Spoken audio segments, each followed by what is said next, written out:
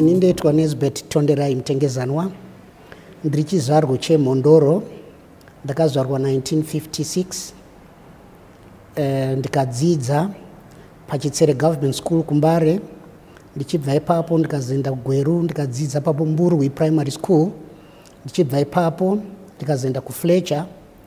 Ndabva kufletcher ndikazoenda pauz handina kuzopedza pauz ndikazopedzisira ndakuita correspondence kusouth africa neunisa ndokwandakaita eh, doctorate yangu. Saka ini ndadaro eh, ndakagara ndiri munhu weuanc ndakamboshanda navamuzorewa before he died. Uh, and i'm trained uh, russia trained under kgb ndokwandakatrainwa inini ndaendeswa namuzorewa muzorewa. 1980 eh, zvapera eh, yanzi yaruza which inini i very well know kuti hati haina kuruza didn't lose. It was uh, zanu pf was given by lord soames to rule zimbabwe on a silver platter. And there is an agreement that i hold in my office that they signed in mozambique because the elections in 1980 they took time to be announced reason being mugabe was so cunning instead of putting proper ex-comrades in the caps he did not. Akaisa povo aona kuti aruza kumozambique which lord soames went to mozambique and talked to him.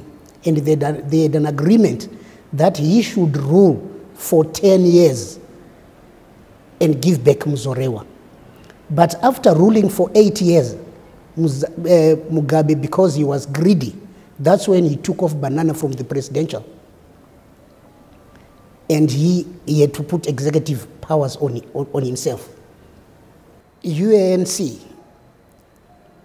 that's the party that brought one man, one vote in Zimbabwe. Even Mugabe himself was a member of UANC. But because of greediness, when we came back from Lancaster, that's when he decided not to go under Muzorewa. But the agreement, Lancaster, was we, have, we had to fight Smith on one, on a one party, which was UANC. Actually, UANC, when it started, it was ANC. Because Muzorewa was not selfish. This is when he said, Smith, I'm not going to talk to you unless you release the freedom fighters, which was including Mugabe himself. If Zorewa was selfish, Mugabe should have rot in prison.